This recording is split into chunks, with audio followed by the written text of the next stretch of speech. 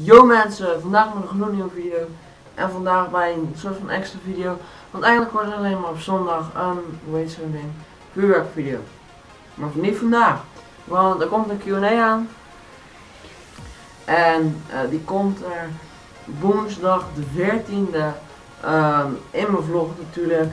En dan beantwoord ik alle vragen. En deze, op deze video kun je alle vragen achterlaten. Ehm, ik probeer ze ehm, allemaal te beantwoorden. Als het niet lukt, sorry daarvoor.